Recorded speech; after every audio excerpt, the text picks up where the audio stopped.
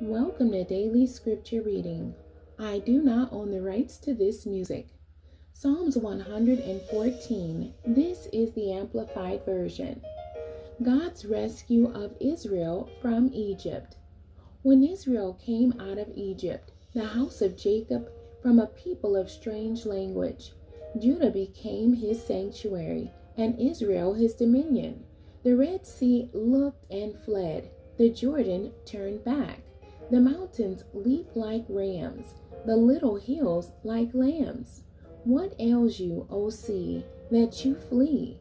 O Jordan, that you turn back? O mountains, that you leap like rams? O little hills like lambs?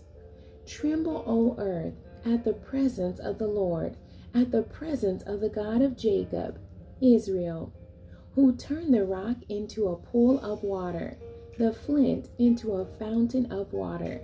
The end. God bless you and thank you for joining me today.